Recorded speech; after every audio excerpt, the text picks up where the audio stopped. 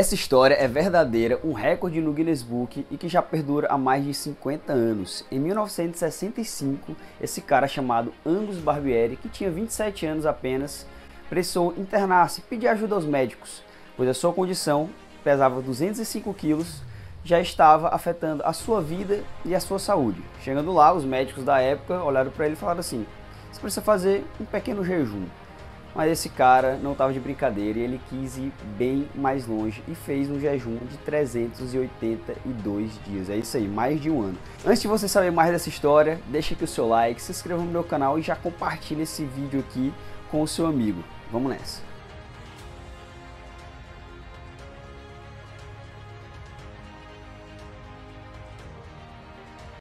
É isso mesmo, galera. Os médicos naquela época deram uma indicação para ele meio grotesca. Faz um jejum aí de 40 dias que isso aí vai resolver.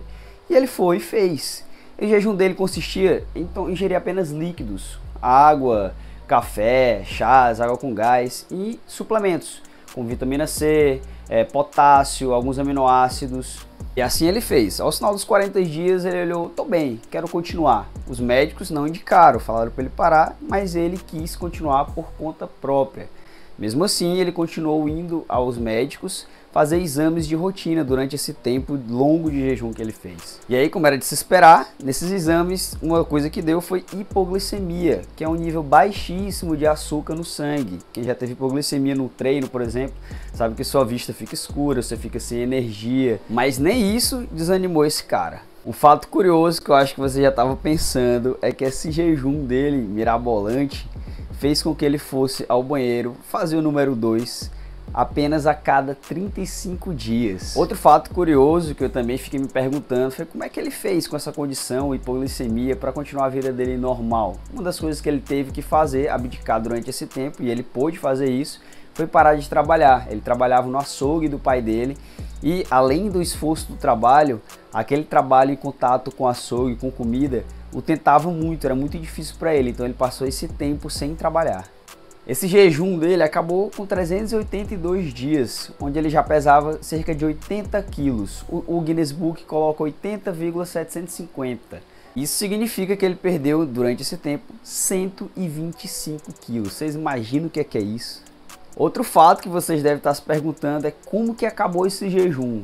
Imagino que você ia querer comer um hambúrguer, uma pizza, mas Angus Barbieri não. Ele comeu dois ovos, um pão com manteiga e uma xícara de café. E ao final ele ainda falou assim: É, eu me sinto cheio, mas estou satisfeito. Ele emagreceu tanto que nas suas roupas antigas ele conseguia entrar e colocar mais duas pessoas, uma de cada lado, e cabia na roupa dele antiga. O jejum mirabolante de Angus Barbieri só foi reconhecido pelo Guinness Book em 1971, com uma pessoa que fez o jejum mais longo ingerindo apenas líquidos. Outra coisa que você deve se perguntar é se isso não atrapalhou a vida dele depois, se ele teve outro tipo de problema de saúde. Mas não, ele viveu a vida dele normalmente, se casou, teve dois filhos e foi veio a falecer apenas em 1990. Claro, como vocês viram, que esse regime mirabolante, esse jejum do Angus Barbieri deu certo com ele, mas eu acho que ninguém aqui está pensando em fazer um negócio doido desse. Então, não faça. Se você quiser emagrecer, está precisando emagrecer, procure o seu médico, procure o seu nutricionista, faça exames regularmente e não invente nada mirabolante como o Angus Barbieri fez. Não queira entrar no Guinness. Então é isso, meus queridos. Esse aqui foi o vídeo do quadro da semana, fatos curiosos ou histórias do esporte. Se você gostou desse vídeo, deixe aqui o seu like, se inscreva no meu canal e espere os próximos vídeos. Tem vídeo aqui quase todo dia. Valeu, até a próxima. Tamo junto.